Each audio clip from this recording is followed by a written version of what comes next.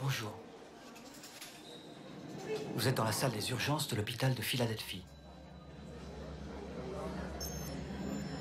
Je vais vous poser quelques questions. Où étiez-vous assis dans le train Côté fenêtre. Dans la voiture voyageur Oui.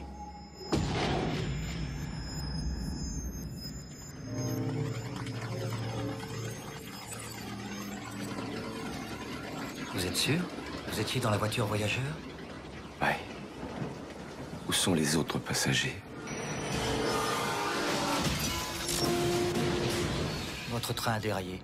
Il est allé trop vite dans un virage. Un autre train vous a alors percuté. On a retrouvé des débris sur deux kilomètres.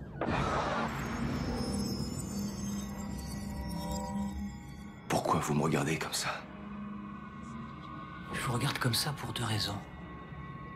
La première, c'est parce qu'apparemment vous êtes le seul survivant de cet accident. Et la deuxième, c'est parce que vous n'avez aucune égratignure. Je sais ce que vous pensez. Vous cherchez une explication à tout ça.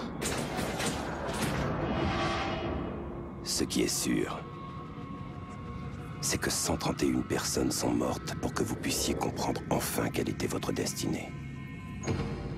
Êtes-vous prêt à entendre la vérité?